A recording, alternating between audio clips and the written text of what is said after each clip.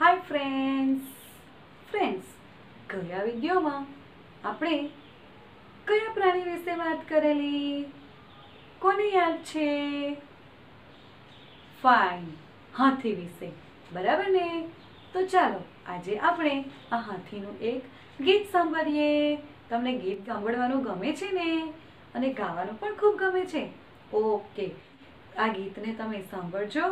અને તમે એને ગી આ ગીતને ગાજો હાથી રાજા હાથી રાજા મસ્ત મલંગ સે હાથી રાજા हाथी राजा कहाँ चले सुंद हिला कर कहाँ चले हाथी राजा कहाँ चले सुंद हिला कर कहाँ चले मेरे घर भी आओ ना, हलवा पूरी खाओ ना, मेरे घर भी आओ ना, हलवा पूरी खाओ ना। आओ बैठो कुर्सी पर, कुर्सी बोली चटर पटर चटर पटर भाई चटर पटर चटर पटर भाई चटर पटर, हाथी राजा हाथी राजा। મસ્ત મલંગશે. હાથી રાજા. તો બાર મિત્રો, ગમ્યું ને તમને આ ગીત? કેવો લાગ્યો? બહુ સરસ. વેરી ગુડ તો ફ્રેન્ડ્સ આ હાથીની, આ હાથીનું જે તમે ગીત જોયું, તો હાથી વિશે આપણે આગળ પાઠ શીખી ગયા. તો એ પાત્રનું નામ શું હતું? કોને ખબર છે? નંદ સાથે એક દિવસ. બરાબર ને? તો ચાલો આજે આપણે આ પાઠને ફરીથી એકવાર યાદ કરીએ. તો ફ્રેન્ડ્સ એમાં આપણે સૌથી પહેલાં જોયેલું કે પ્રાણીઓના બચ્ચાને શું કહેવાય છે. તો હું તેમાંથી તમને કેટલાક પ્રશ્ન પૂછું છું. તો તમારે મને એનો જવાબ આપવાનો છે. ગાયના બચ્ચાને શું કહેવાય? કોણ કહેશે મને? ગાયના બચ્ચાને વાછરડું કહેવાય. ભેંસના બચ્ચાને શું કહેવાય? કોણ કહેશે મને? ભેંસના બચ્ચાને પાડું કહેવાય. ઘોડાના બચ્ચાને શું કહેવાય? ઘોડાના બચ્ચાને વછેડો કહેવાય.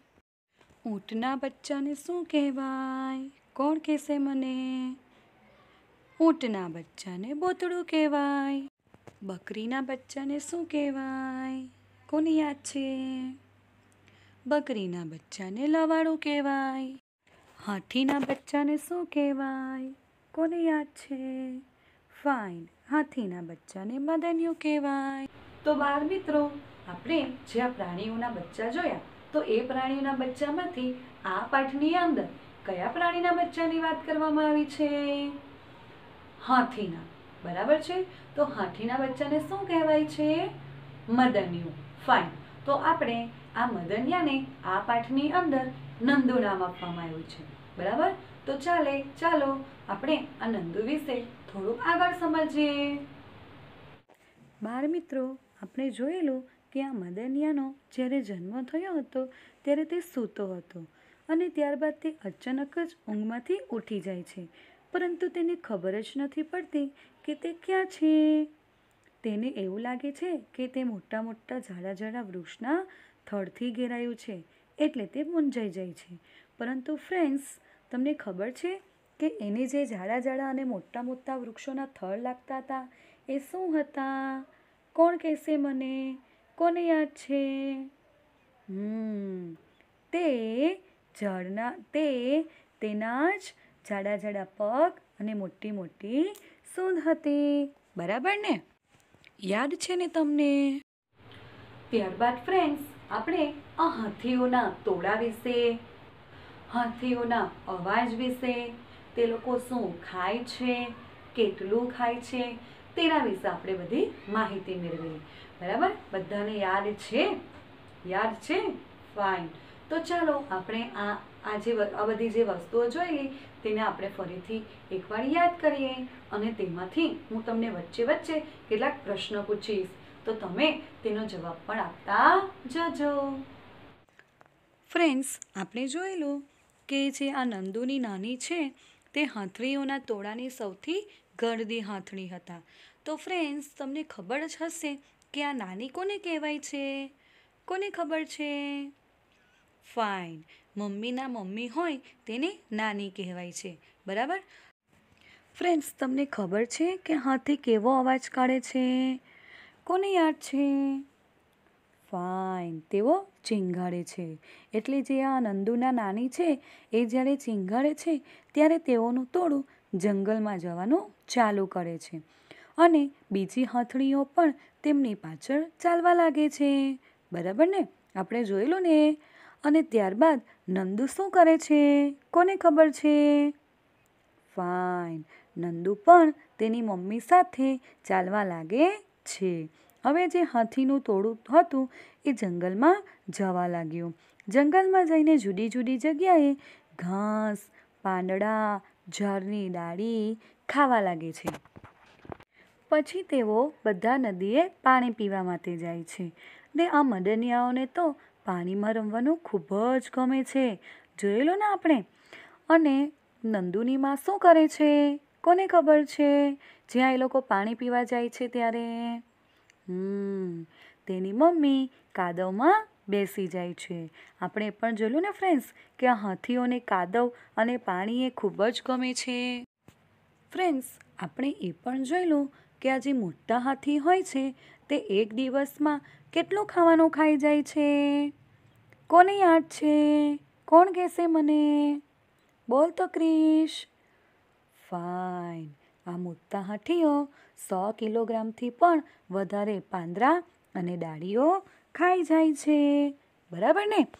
તો ફ્રેન્ડ્સ આપણે એ પણ જોઈ લો કે આ જે હાથીઓ હોય છે, તે બહુ આરામ કરતા નથી. તેઓ દિવસમાં બેથી ચાર કલાક જ સૂઈ જાય છે. ફ્રેન્ડ્સ ત્યારબાદ આપણે આ હાથી આ હાથીઓના કાન વિશે વાત કરેલી બરાબર છે? તો કોને યાદ છે? કે આ હાથીના કાન એ કોના જેવા દેખાય છે? ફાઇન પંખા જેવા. બરાબર? તો ફ્રેન્ડ્સ આ હાથીઓના કાન છે તે તેઓને કેવી રીતે મદદ કરે છે? એટલે એ લોકોને કેવી રીતે ઉપયોગી છે? તેના વિશે પણ આપણે માહિતી જોઈ લઈ બરાબર? તો ચાલો આપણે ફરીથી એને જોઈએ. ફ્રેન્ડ્સ આપણે જોયું કે હાથીના કાન એ પંખા જેવા દેખાય છે. બરાબર ને? તો જ્યારે પણ તેમને ગરમી લાગે, તો ત્યારે તેઓ તેના કાનને હલાવીને એ લોકો ઠંડક મેળવે છે. અથવા તો એમના મોં કે માથા પર બેઠેલા નાના નાના જીવજંતુઓને ઉડાડવા માટે પણ તેઓ કાનનો ઉપયોગ કરે છે. ત્યારબાદ ફ્રેન્ડ્સ, આપણે એ પણ જોયેલું કે આ નંદુના ભાઈ અને બહેનો છે તે પાણીમાં રમવા માટે જાય છે. બરાબર? પરંતુ ત્યારે નંદુ શું વિચારે છે કે હું તો હજુ નાનો છું. એટલે હું તે લોકો સાથે નાહવા જવાનો નથી. એટલે તે તેની મમ્મી પાસે જ ઊભો રહી જાય છે. પરંતુ નંદુની મમ્મી એને ધીમેથી પાણી તરફ ધક્કો મારે છે. જાણે તે કહેતી હોય કે તું પણ પાણીમાં રમવા માટે જા. નંદુને પણ આમ તો પાણીમાં રમવું ખૂબ જ ગમતું હતું. પરંતુ એને એવું લાગતું હતું કે હું નાનો છું તો મારા મને મારા પિતરાઈ ભાઈનો ધક્કો વાગી જશે તો હું પડી જઈશ. એટલે તે જતો નથી. પરંતુ જ્યારે એની મમ્મી એને ધક્કો મારે છે, ત્યારે તે પાણીમાં રમવા માટે જાય છે. હજુ તો નંદુ પાણીમાં પહોંચે છે કે તરત જ એક સખત મોટો ફુવારો, પાણીનો ફુવારો નંદુના માથા પર પડે છે અને તે ભીનો થઈ જાય છે. ફ્રેન્ડ્સ, તમને ખબર છે કે આ પાણીનો ફુવારો નંદુ પણ કોણ નાખે છે? હમ તેનો ધમાલિયો પિતરાઈ ભાઈ હતો, તે તેની પર નાખે છે.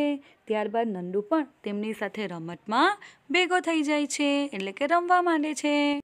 ત્યારબાદ ફ્રેન્ડ્સ અંધારું થવા લાગે છે, એટલે આ હાથીઓનું તોરું પોતાના ઘર તરફ જંગલમાં જવા લાગે છે અને તેમના ઘર સુધી ચાલતા ચાલતા જતા જતામાં તો નંદુ થાકી પણ જાય છે, એટલે તે તેની માતાના આગળના પગ વચ્ચે ગોઠવાઈ જાય છે. ફ્રેન્ડ્સ આપણે આ નંદુ અને હાથીના તોડા વિશે આપણે વાતચીત કરી. પરંતુ ફ્રેન્ડ્સ શું તમને ખબર છે કે આ હાથીના તોડામાં એ દસ બાર હાથડીઓ અને બચ્ચા જ હોય છે? હાથીઓ હોતા નથી. એ એકલા ફરે છે. અને જે આ હાથડીઓ હોય છે, તે સાથે ફરે છે. ત્યારબાદ ફ્રેન્ડ્સ તમે જોયેલું કે આ હાથીના બચ્ચા એ કેટલા વર્ષના થઈ જાય પછી પોતાનું તોડું છોડી દે છે? કોને યાદ છે? ફાઇન, ચૌદ પંદર વર્ષના જ્યારે આ હાથી ચૌદ પંદર વર્ષના થાય, પછી એ પોતાનું તોડું છોડી દે છે અને પછી તે એકલા ફળે છે. હવે આ નંડુ પણ જ્યારે મોટો થશે, એટલે કે ચૌદ પંદર વર્ષનો થશે, એટલે એ પણ પોતાનું તોડું છોડી દેશે અને એકલો રહેવા માનશે. બાર મિત્રો, આ હાથીઓની જેમ બીજા ઘણા બધા પ્રાણી પણ એવા છે કે જેઓ તોડામાં, એટલે કે સમૂહમાં રહે છે. તમને ખબર છે કે કયા કયા પ્રાણીઓ છે? જે કે તોડામાં, એટલે કે સમૂહમાં રહે છે? કોને યાદ છે? બોલો તો. આ કીડીઓ મધમાખીઓ, ઘેટા બકરા, હરણ, ઝીબડા, વાંદરા, પેંગ્વિન વગેરે સજીવો તોરામાં રહે છે. બરાબર? અને ત્યારબાદ ફ્રેન્ડ્સ આપણે આ કેટલાક પ્રાણીઓ આપણને કેવી કઈ કઈ રીતે ઉપયોગી છે, આપણે તેના વિશે પણ થોડી માહિતી મેળવેલી. બધાને યાદ છે? ચાલો, તો હું તમને સવાલ પૂછીશ, તો તમારે મને એનો આન્સર આપતા જવાનો છે. આ ગાય, ભેંસ અને બકરી જેવા પ્રાણીઓ એ આપણને કઈ રીતે ઉપયોગી છે? કોણ કહેશે મને?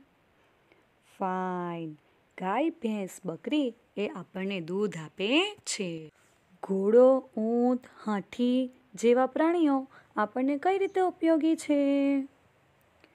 તો ફ્રેન્ડ્સ આ પ્રાણીઓ આપણને સવારી માટે ઉપયોગી છે. ભાર ખેંચવા અને વજન ઉચકવા માટે કયા પ્રાણી ઉપયોગી છે? ફાઇન, ગધેડું અને બળદ. અને આ રણ પ્રદેશમાં સવારી માટે આપણને કયો પ્રાણી ઉપયોગી છે? ઊંટ. બરાબર. આ હાથી એ આપણને જંગલમાંથી લાકડાની હેરાફેરી માટે ખૂબ જ ઉપયોગી પ્રાણી છે. ત્યારબાદ આપણે એ પણ જોયેલું કે આ ખેતરમાંથી અનાજ અને અન્ય સામાન લાવવા માટે આપણે આ બળદ, બળદનો ઉપયોગ કરીએ છીએ. આમ પ્રાણીઓ એ આપણને અનેક રીતે ઉપયોગી છે. ત્યારબાદ ફ્રેન્ડ્સ, આ ભેંસ અને ગાય પર એ બીજા કયા પ્રાણીઓ સવારી કરે છે? કોને ખબર છે? ફ્રેન્ડ્સ, આ ગાય અને ભેંસ પર બગલો, કાગડો અને કાબર જેવા પ્રાણીઓ સવારી કરે છે. ત્યારબાદ જેમ આ પ્રાણીઓ જે જે રીતે સમૂહમાં રહે છે, તો તેવી જ રીતે આપણે પણ સમૂહમાં રહીએ છીએ. કેવી રીતે? કોને ખબર છે? ફાઇન આપણે પણ આપણા ઘરની અંદર ઘણા બધા સભ્યો રહેતા હોય છે. તો આપણે તેને સંયુક્ત કુટુંબ કહીએ છીએ. ચાલો આપણે જોઈએ કે આ સંયુક્ત કુટુંબમાં કોણ કોણ રહે છે? સંયુક્ત કુટુંબમાં દાદા દાદી, મમ્મી પપ્પા, ભાઈ બહેન, કાકા કાકી અને કાકા કાકીના છોકરાઓ, આ ઉપરાંત બીજી વ્યક્તિ પણ આપણા ઘરમાં રહેતી હોય છે, જેને સંયુક્ત કુટુંબ કહેવામાં આવે છે. ત્યારબાદ ફ્રેન્ડ્સ આપણે આપણા ઘરના સભ્યો સાથે, સાથેનો સંબંધ વિશે પણ વાત કરેલી. તો કોઈને ખબર છે કે તમારા દાદા દાદી સાથે તમારો શું સંબંધ છે? ફાઇન તમારા દાદા દાદી સાથે તમારો પૌત્ર કાં તો પૌત્રીનો સંબંધ કહેવાય. તમારા મમ્મી પપ્પા સાથે તમારો પુત્ર અને પુત્રીનો સંબંધ કહેવાય. ફ્રેન્ડ્સ તમારા મામા અને તમારા કાકા સાથે તમારો શું સંબંધ છે? કોને યાદ છે? કોઈને ખબર છે? ફાઇન તમારા મામા સાથે તમારો ભાણેજનો અને તમારા કાકા સાથે તમારો ભત્રીજાનો સંબંધ કહેવાય. આમ આપણા ઘરમાં રહેતા સભ્યો સાથે આપણા આવા સંબંધો હોય છે. તો બાળ મિત્રો, આજે આપણે આ નંદુ સાથે કેટલું બધું ફર્યા? થાકી ગયા તમે બધા? બધા થાકી ગયા? We fine. તો ચાલો, આજે આપણે આ પાઠ અહીંયા પૂરો કરીએ છીએ. તો ફરી મળીશું નવા પાઠ સાથે. Okay, bye.